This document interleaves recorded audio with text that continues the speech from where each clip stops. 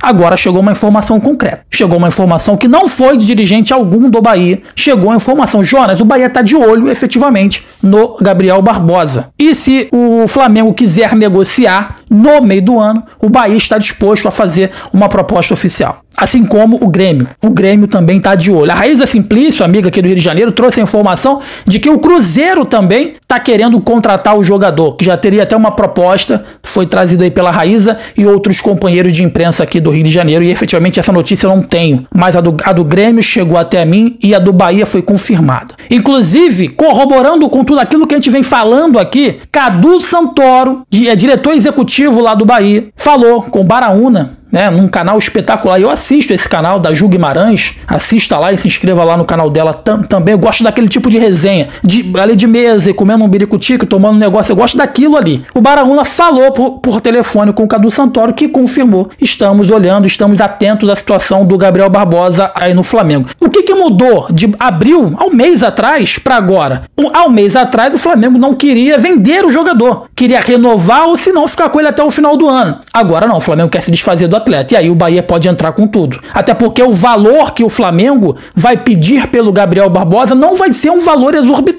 Vai ser um valor proporcional a seis meses. Porque é esse tempo de contrato que o Flamengo tem com o Gabriel Barbosa seis meses. Evidentemente, o Bahia pode optar por fazer um negócio, um pré-contrato com o jogador. Pode ser, fazer um pré-contrato com o Gabriel, que só viria em 2025. Mas eu acho que o Grupo City tem bala na agulha para arcar né, com que o Flamengo ele pedir e o Gabriel ir para o Bahia já na janela do meio do ano. Então é isso, meus amigos. Mais uma vez, eu vinha falando lá atrás, não se surpreenda se o Gabriel for para o Bahia, porque o Bahia tá de olho, não é de hoje. Sendo que agora tem a possibilidade de abrir um negócio já no meio do ano, não esperar 2025. E aí aí vai depender de, de quanto a gente fala aqui de dinheiro, quanto o Flamengo vai querer arrecadar para liberar o jogador com seis meses de antecedência antes que termine o seu contrato. Tá bom? Então essa é a nossa informação que foi confirmada pelo Cadu Santoro, que realmente tá de olho, tá monitorando, tá observando aí de perto e tem sim interesse no atleta Gabriel Barbosa.